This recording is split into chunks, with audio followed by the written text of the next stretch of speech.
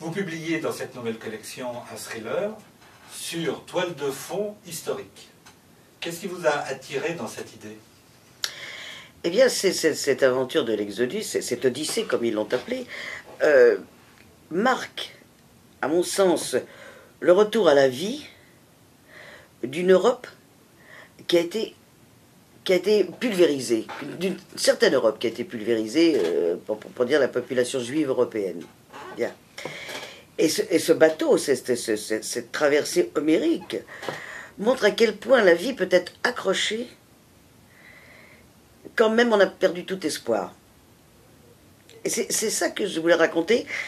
En quelque sorte, dans notre époque actuelle, si désabusée, si morose, euh, si prête à tous les pessimismes, alors quand même que l'on peut dire que pour la plupart au moins des gens de notre pays, nous n'avons pas les bruits de bottes dans l'escalier, ni les coups de crosse dans les portes.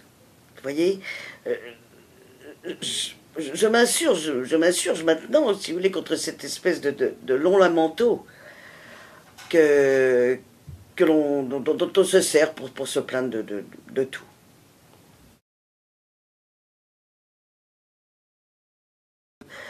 Je ne sais pas si je fais du, policier ou du thriller. Je fais davantage du thriller dans la mesure où c'est plus, comment dirais-je, plus penché sur le monde que sur une histoire personnelle, avec un drame personnel.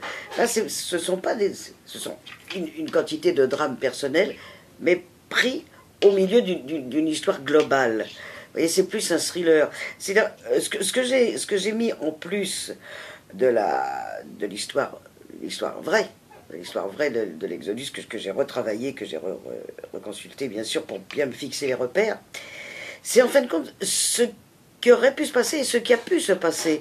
C'est-à-dire, j'ai introduit un personnage à l'anglais euh, qui fait tout ce qu'il faut pour, pour empêcher ce, bateau de partir, mais je, je l'ai euh, singularisé au lieu que ce soit euh, Atli et, et Bévin, c'est aussi lui. Vous voyez, les, les destins personnels sont imbriqués dans l'histoire. Euh, dans l'histoire. C'est ce qui fait que ça donne une. Euh, ça donne, je crois, j'espère, une vraie chair. Vous voyez, on, regarde les protagonistes, les vrais, et les, et les, rajouter avec les mêmes yeux de, curiosité. Alors, pour, un écrivain, pour un romancier, est-ce que ça ne nous a pas, nous a pas un petit peu gêné d'avoir ce cadre imposé, cette trame historique imposée, et dont vos personnages ne pouvait pas sortir.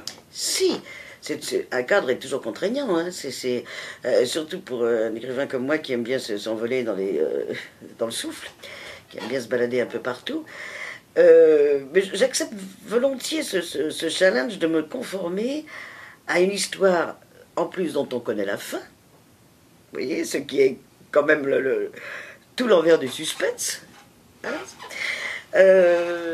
Mais cette histoire est passionnante. Léon Uris l'avait très bien écrite. Euh, le film qui avait été tourné est resté dans toutes les mémoires. Quand je parle de ce livre autour de moi, de ce futur livre, les, gens savent parfaitement de quoi il s'agit. Alors qu'il y a euh, moult événements historiques qui sont complètement passés à la trappe.